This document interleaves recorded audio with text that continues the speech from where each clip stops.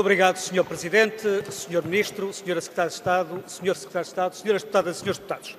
Sr. Ministro, eu confesso que quando começámos este debate tinha alguma expectativa que o Sr. Ministro aproveitasse essa oportunidade para romper com o legado do seu antecessor, o Ministro Pedro Marques, o pior Ministro que passou por este Governo, eh, mas afinal eh, encontro exatamente o mesmo registro, o mesmo discurso e a mesma prática.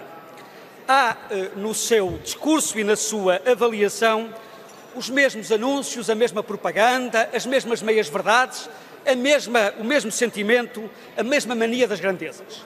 E eu começo por um aspecto muito concreto. O Sr. Ministro repetiu a narrativa que o Partido Socialista já tinha iniciado, dizendo que o anterior governo uh, negociou mal os fundos e o programa Portugal 2020. Eu relembro ao Sr. Ministro que este acordo, o acordo de parceria, foi eh, acompanhado pelo Partido Socialista, eh, por, um, uma pessoa importante do Partido Socialista, o professor Caldeira Cabral, eh, que não pode ser conotado com o, regime anterior do Partido Socialista, porque ele foi convidado não só para ser Ministro da Economia, como agora vai ser indicado para um órgão importante de regulação. E, portanto, representou não só o Partido Socialista de então, como representa este Governo e esse acordo de parceria foi negociado e assinado, assinado por baixo pelo Partido Socialista. Portanto, quando Vossa Excelência vem dizer que não temos nada a ver com o passado, é mais uma, é mais um ato de irresponsabilidade ou não querer assumir a responsabilidade por algo que os senhores assumiram e que os senhores cumpriram.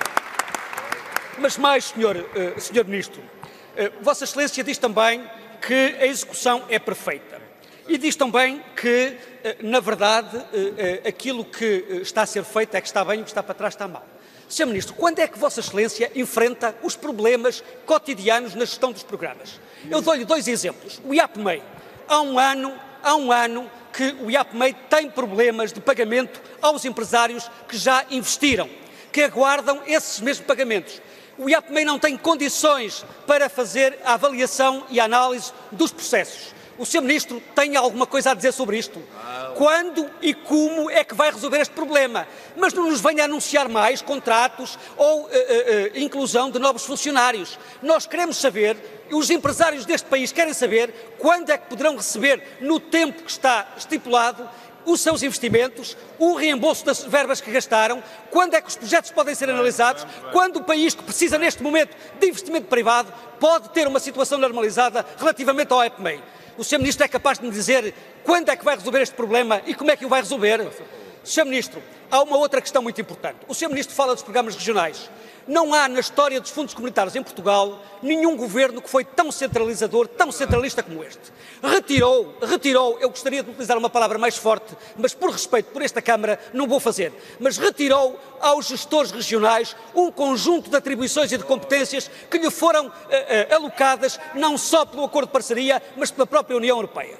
O Sr. Ministro não deixa abrir concursos. Não há um concurso dos programas regionais que não passe pelo crivo centralista, controleiro do seu gabinete.